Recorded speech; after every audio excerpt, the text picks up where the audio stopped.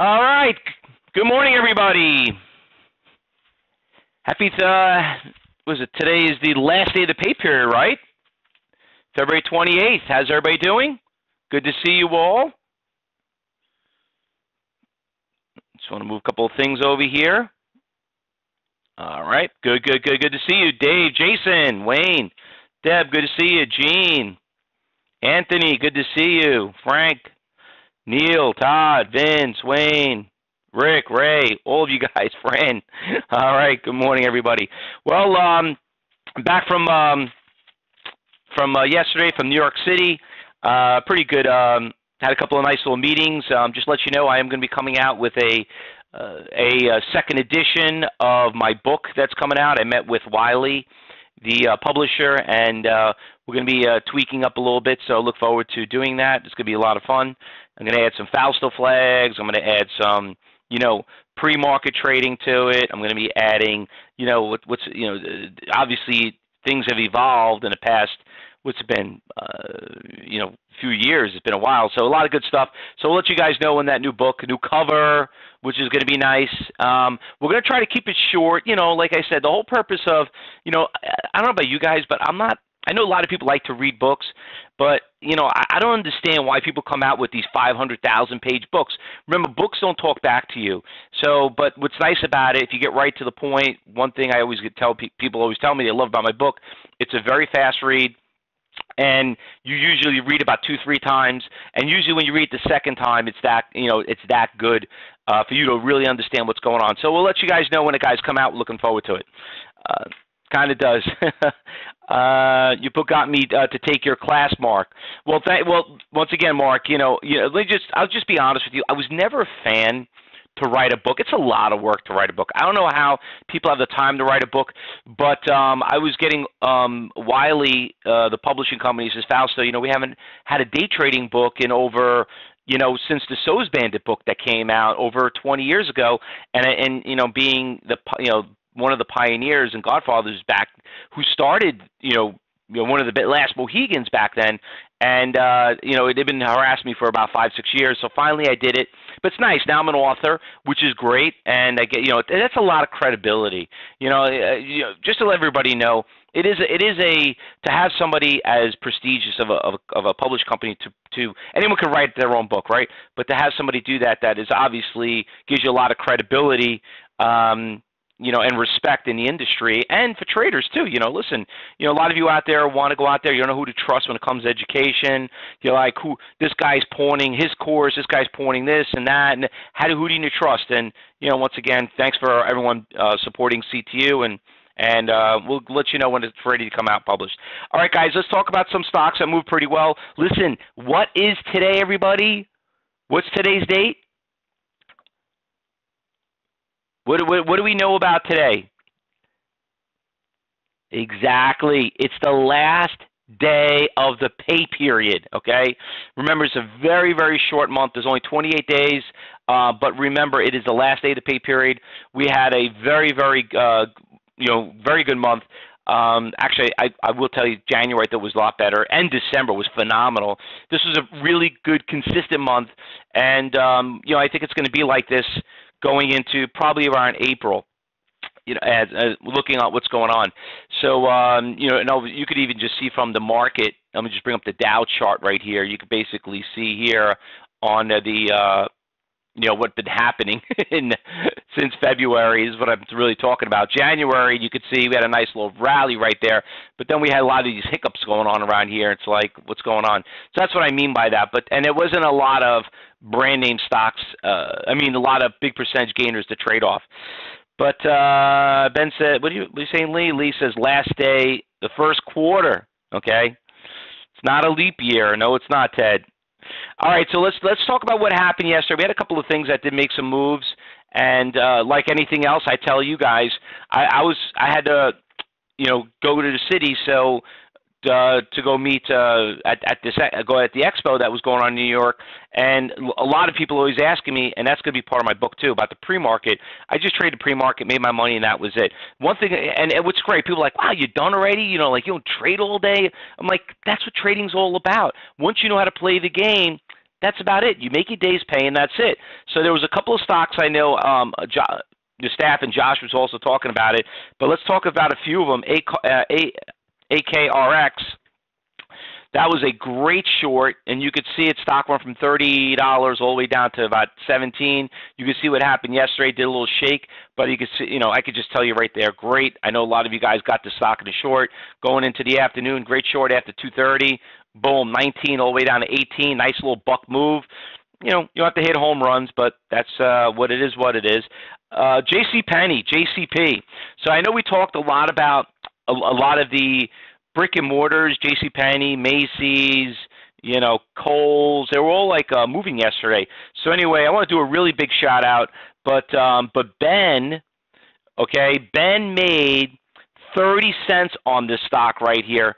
Now, thirty cents is not a lot, but when you trade fifteen thousand shares, let's give him a round of applause, right, Ben? There you go. It's only numbers. It's only numbers. Listen, if you can't trade one share, how are you going to trade fifteen thousand? So you know when it comes to trading, that's what that's what it's all about. You got to know how to play the game, and eventually you'll know how to trade thousand. You'll know when to trade five. You know when to trade ten. And believe me, it's not a lot of you know. You don't look at it as in shares, but you look at it as a points. That's how we kind of more or less trade. That's why in the trading room we don't go out there and brag and say, "Oh, you know, I made you know seven hundred dollars, or I made three thousand. You always hear it's all about points. You know, we don't we want we don't want to discourage anybody. They're like, "Oh, he made more money than me," and this person. It's all about you know we we all try to stick to that point schedule what we teach in class because that is what shows you. Okay, well, you know what? It's it, it, it's it's what we focus on. That's our goal to make it. All you're doing is trading more shares. You just got to make sure you got the liquidity out there couple of the stocks did pretty well. Want to hit this out pretty quick. You had the Micron Technology that did pretty well also. That was pretty good. The um, I think I said this one. No, I didn't. MNK. That one also great pop right at the open. Went from 18 to about 22. All right. Not bad, right? You could see the great short there on um, it gapped up pretty big. I don't know what was up with that, but Macy's just tanked from 31 down to 28. That was one of the morning that was on our morning watch list, and obviously Kohl's that was a great short. 69 all the way down to like 65. Look at that. That's that's like trading at its best. You know that that's what we that's what we train for. Look at that. You're done at 11 o'clock.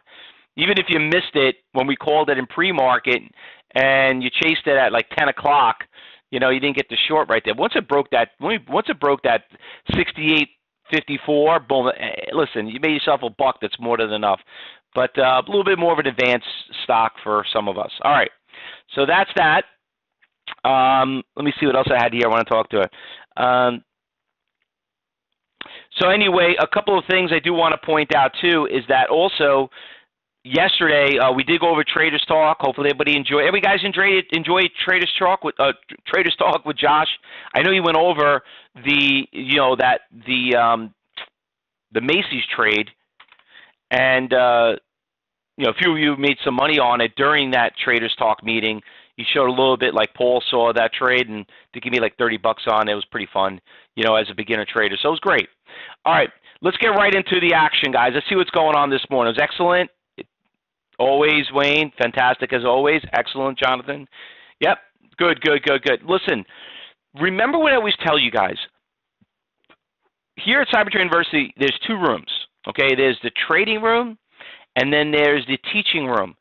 You got to learn how to trade first to make sure it's for you. And those classes, like I said, that's where you spend most of your time, 80% of your time. If it's the recordings, if it's the quizzes or the, you know, the the workshops being here in the trading room, you know, people are asking me at the expo yesterday, Fausto, you know, how long I got to be in the trading room? I don't have time. I'm like, listen, you want to have like 30 minutes? Just be there at the most volatile time. It's like, you know, don't miss that train and you'll be fine. All right, so Let's go through some watch lists because some of you guys have been trading this stock's been doing phenomenal. This NIHD, a lot of you guys remember the stock it was at 50 cents.